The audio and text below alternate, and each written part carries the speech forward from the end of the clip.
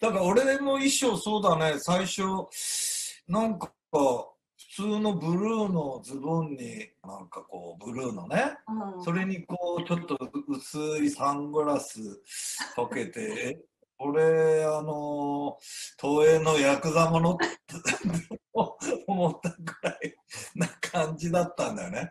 普通にその辺にいる、こう、ちょっと、悪い兄ちゃんみたいな。悪そうな人。悪そうな兄ちゃんみたいに、え、こんなんでいいのかなと思いながら、まあやっちゃったけど、うん。まあこれがイメージなのかなとか思いながらね、あのスタッフのね、作る側のイメージかなと思って、何も言わないでやってる。そうですよね。サングラス事件覚えてます？サングラス事件ってことじゃないんですけど、え、俺私全然あの俺いなかったでしょ。サングラスかけてったんですよ。現場にサングラスかけて、おはようございますとか言って、原田さんに会ったら、うん。渡りお前、そのサングラスいいな。今度、あのー次の話から、マッドギャランでそれ使いたいから、俺によこせって言われた。嘘だろ、お前。いや、絵に残ってますよ。え、嘘黒い、黒いサングラス。そのまんま。おすごいサングラス覚えてない。覚えてないでしょ？覚えてないでしょ？全然覚えてない。忘れてますもん。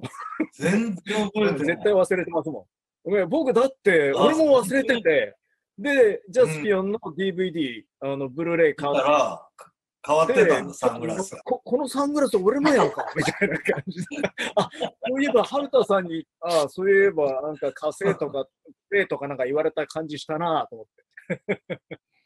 そうそう、さっきも言ったように、どっかのこう、あのサングラスが、ちょっと、あの、あっちの方の人系の、ね、あっちの、ちょっとこう、人形、人形の、人形の人のサングラスっぽかったのよ、ちょっとこう。それで、多分、あの、渡りのあれ見て、かっこよかったんだよね。こう、レーバーみたいなああ感じの、っちの方のね。人っぽかった。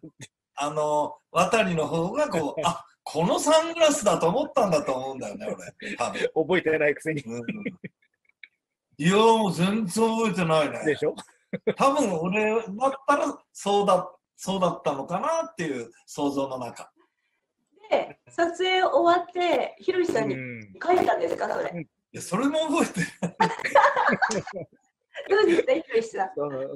返した？俺。それは帰ってきてた。帰ってきまし。たた。あ、あ、返してくれたと思う。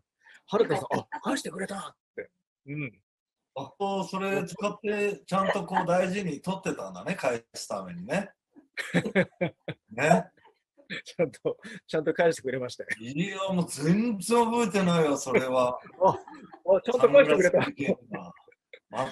俺はもう絶対帰ってこないもんだなと思ったら諦めてましたけど、ぶっちゃけそうあのーよかったです。